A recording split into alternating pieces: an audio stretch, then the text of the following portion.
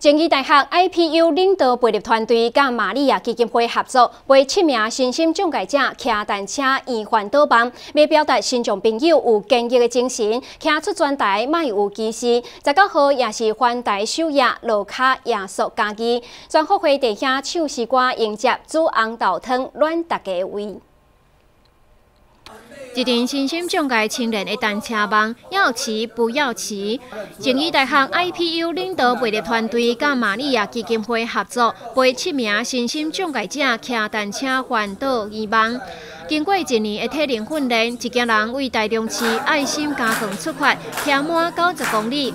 这个好暗时，路卡家己市王殿里一会所，受到热情的欢迎。全国会地下唱诗歌迎接，煮红豆汤阮大家胃。速度很好，然后一路平安。训练了一年，总算看到一些成果，然后可以让我们在天黑以前到王田里。然后里长这边非常热心，然后也提供红豆汤，然后也让我们有一个。很很不错的住宿环境，然后我们可以好好的休息，然后也期待明天的挑战，也可以一切顺利。呃，我们有个青年，他是多重障碍，然后他很勇敢的，然后可以走到这边，然后我们也陪着他，然后骑斜力车一路到他这边，所以呃，我觉得这样一路过来，经过。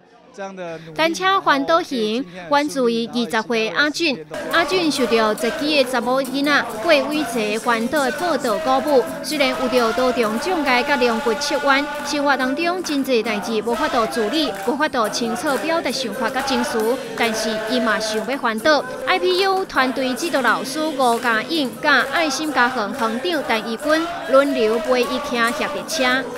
并且在 Flying V 募资平台成功募得二十万九千块，一行二十七人预计用上少的经费，十五天完成逆时针单车环岛。天考高雄台东的时，将做心得分享。